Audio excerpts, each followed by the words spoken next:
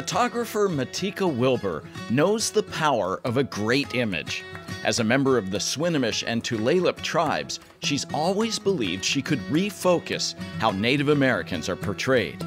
When she couldn't find any contemporary representation of and by fellow Indigenous people, she set out to make it herself. We needed something in the contemporary context to teach our children about who we are. And just and there just wasn't a book like that that represented many tribes made by Native people for Native people.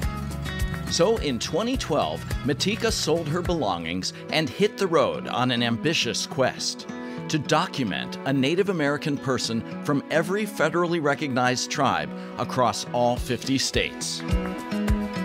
I imagined when I started this project that I would do it in three years.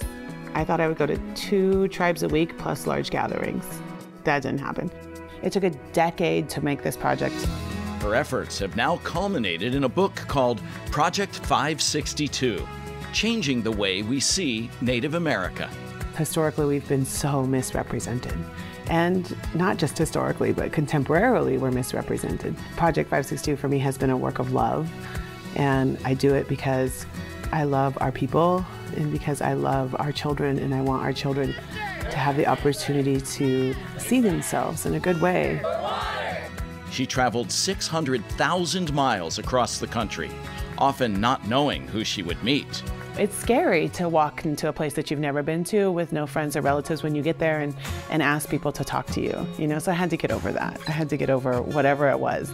I asked them how they wanted to be photographed, where they wanted to be photographed, which subjects they wanted to approach, what did they want to talk about in their in their interview. You know, what was important to them? How could I be of service to them? What stories do they need told about their own community? And this work is supported and lives because of community, because of the people that I photographed, the people who let me into their homes, the people who shared their story with me.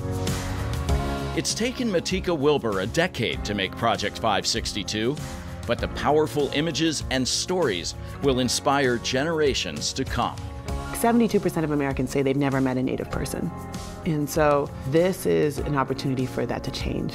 Hopefully, through this process, it can help people to bear witness and have an intimate and personal relationship with some of the people in these pages.